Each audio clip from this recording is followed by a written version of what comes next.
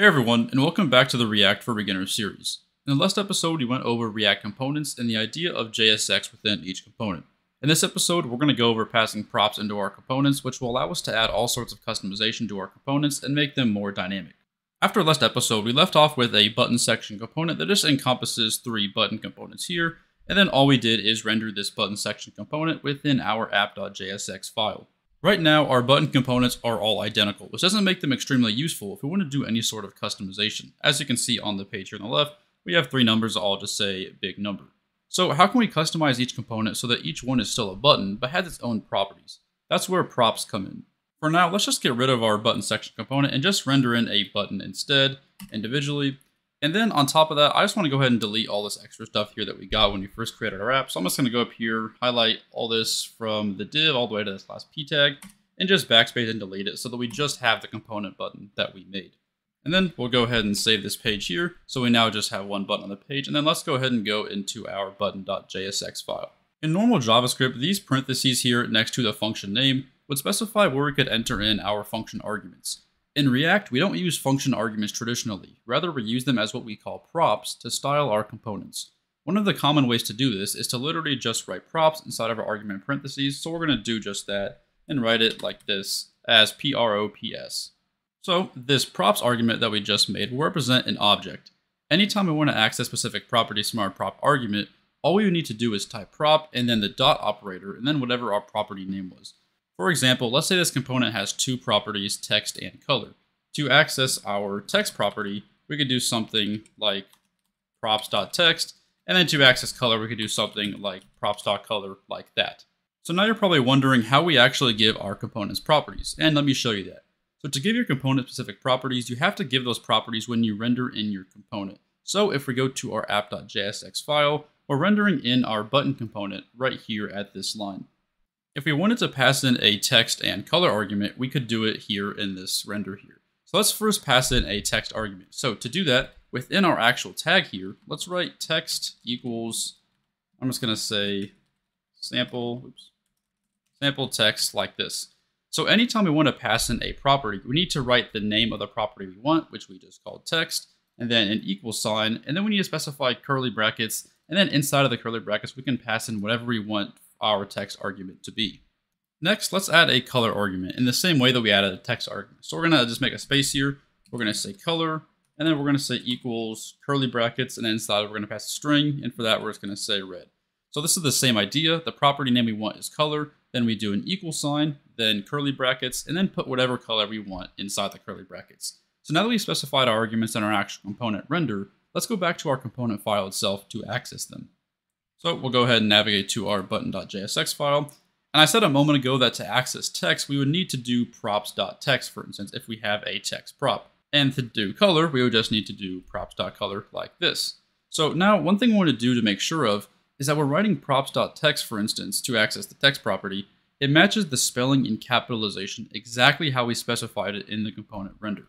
So we're accessing text here. We want to make sure that in app.jsx, we're rendering it, that we're making it the exact same word, so it's text with all lowercase letters. If I were to, for instance, not make it match exactly, and I did, let's say, text with a capital T like that, it wouldn't work because they're not spelled exactly the same. So just make sure that it matches in the component render, and that it also matches within the actual component that you're using it in, like this.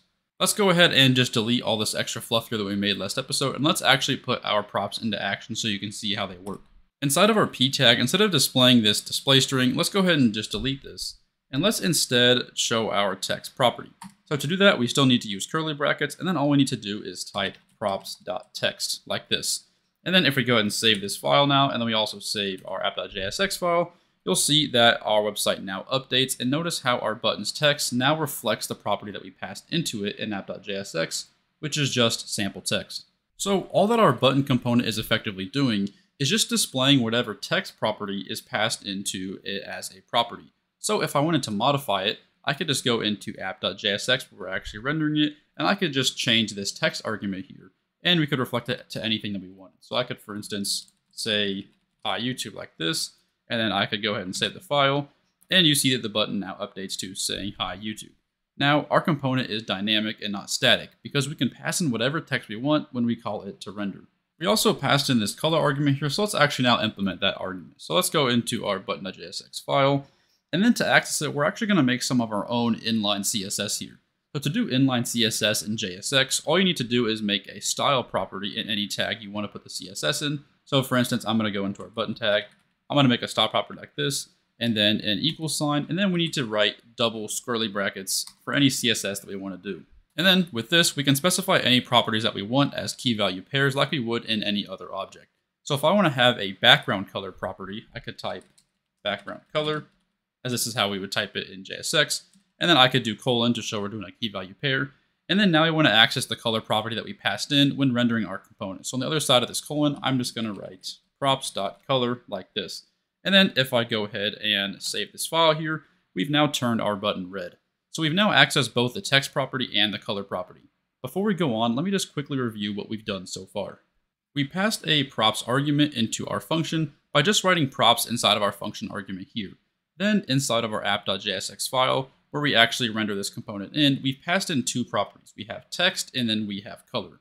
For text, we just wrote hi YouTube, and for the color, we just passed in red.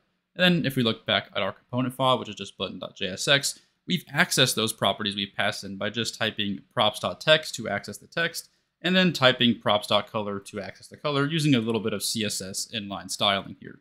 Now here's the neat thing about props. Now that we've passed in these props inside of our actual component file, we can make as many button components as we want and customize them each individually.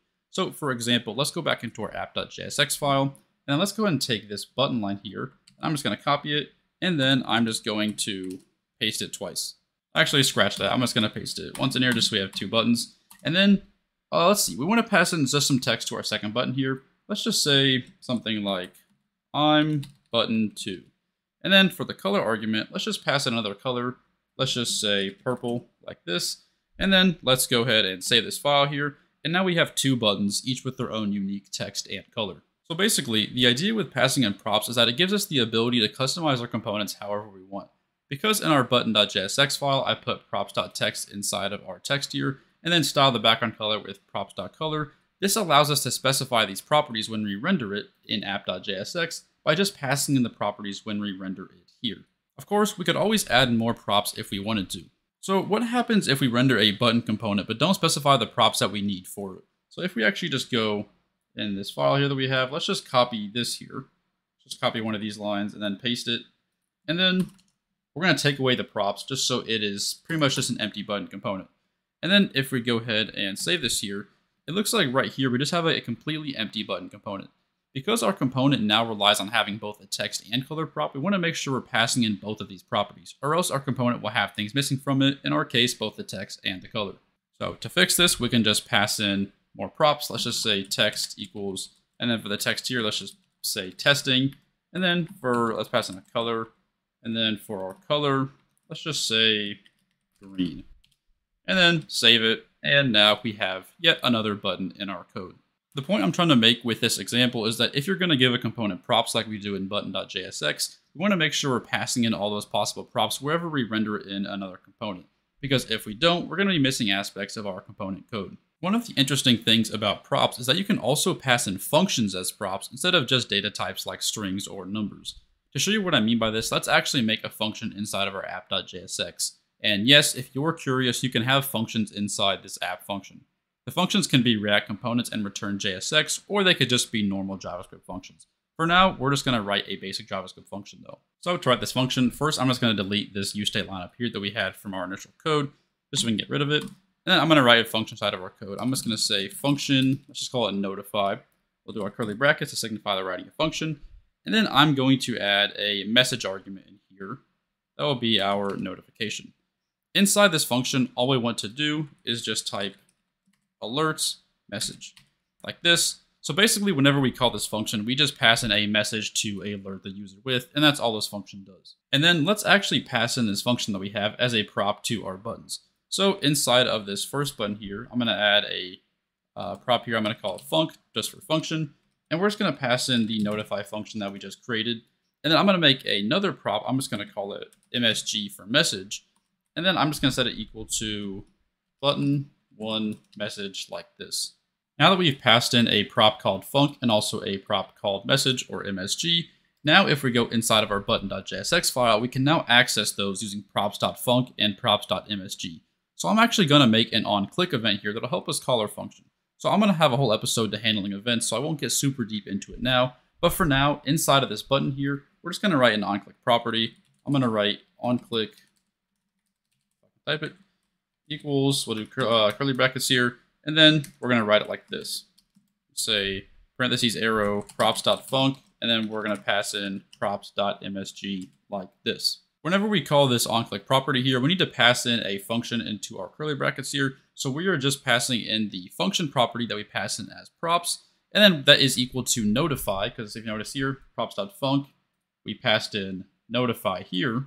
So inside this button component, props.func is equal to notify, and then inside of this, we're just passing in the message argument that we're also passing inside of our app. So props.message, which is equal to button one message because we pass it in here as a prop.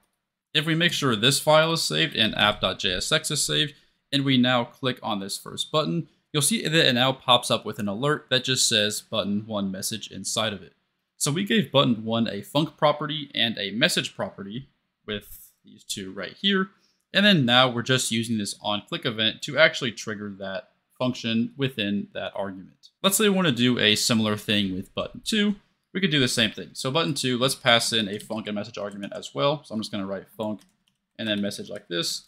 And then we're going to pass in the same notify function.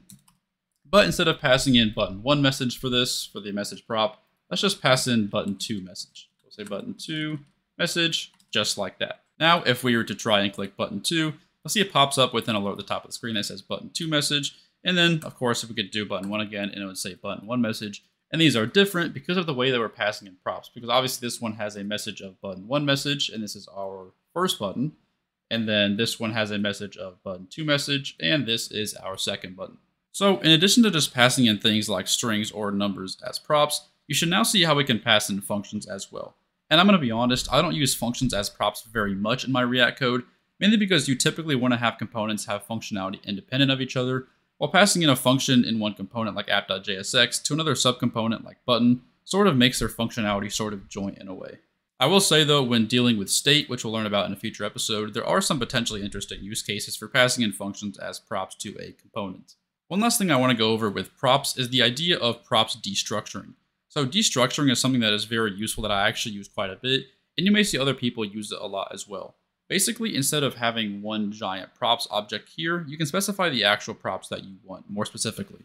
Here's how we can do that. So to destructure the props of a component, instead of just writing props in the component arguments here, we can instead replace this with just curly brackets like this, and then list out, list out each prop individually separated by commas. So we have four props that we have passing right now. We have text, and we'll say comma color, comma func, and then message like this.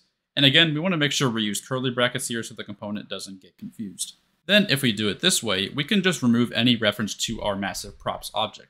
So basically everywhere it says props, we'll just delete that and get the name of the actual props. Right here on props.text, we can just delete that so it just says text. Um, we'll make sure this just calls func, and then this just calls MSG, and then this just here calls color like that. And then if we were to go ahead and save this page, nothing actually changes because it, it is actually the exact same functionality, but you can see our page works in the exact same way. In my opinion now, I think the code looks a little bit cleaner. So basically, by default, if you pass in a props argument into the parentheses here, it makes one huge object that holds every property inside that object, hence why we use the word props. And then the property name.